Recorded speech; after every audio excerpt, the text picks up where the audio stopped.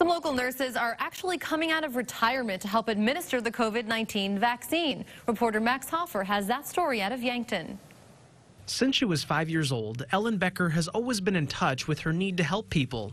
After high school, she became a nurse's aide at the Avera Sacred Heart Hospital in Yankton. I feel like I've grown up there. I've been there since I was probably 18, 19 years old. Ten years later, she became a full time registered nurse. She would go on to commit the next 33 years of her life to the job. She eventually retired at age 62. And it has evolved and turned over to young and bright young nurses. So, uh, and when I retired, it was good. You know, I wanted to retire young enough so that, you know, somebody didn't ask me to leave. But truth be told, she never did quite leave. She's been working as needed for the past four years. Recently, she's been administering doses of the COVID 19 vaccine at the hospital. I just feel like, wow, I I'm so glad. I feel kind of like Rosie Riveter during the Second World War, like we can do this. It takes an army to fight a battle like this. Mm-hmm.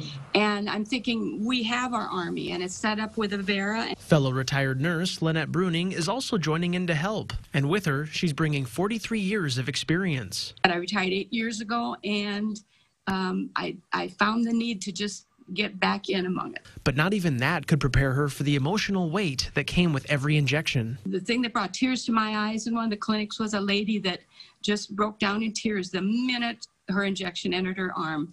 And I initially thought, well, you know, did she is she did she get hurt or did the injection bother her? No she those are tears of joy. Everybody's wants to be there and uh, and the community and the people who are receiving their vaccinations want to be vaccinated. If you'd ask bruning and becker they'd tell you they only play a small part of a big team.